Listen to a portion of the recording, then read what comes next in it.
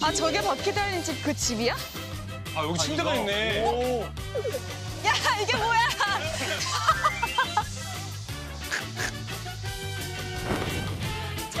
우와!